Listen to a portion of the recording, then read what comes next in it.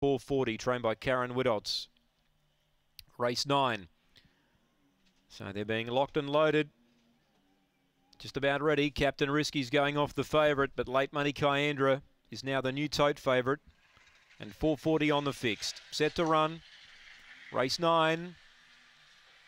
Away, Kyandra step well, more speed, Calgarich Kid, it's getting tight out wide, Mr. Dagwood sweeps up and railing up Ruthless Lawler. Ruthless Lawler, Mr. Dagwood together. Calgarich Kid third, Captain Risky runs on, then Kyandra, a gap away to Double Indemnity, last Charlotte Street, they spin the bend, it's Ruthless Lawler, coming out at Calgarich Kid, the rail, Kyandra, Oh, I think the outside Calgarich Kid from Ruthless Lawler and Kyandra. Captain Risky and Double Indemnity in a photo behind them.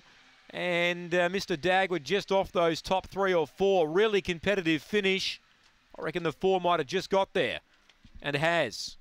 23-16. Calgarich Kid. Went wide on the corner but stormed home to win. Four gets it. Three second Ruthless Lawler. Two third Kyandra. Five fourth double indemnity. Four three two five. Powerful finish by Calgarich Kid grabs them and beats them. Number four, Kev Bewley.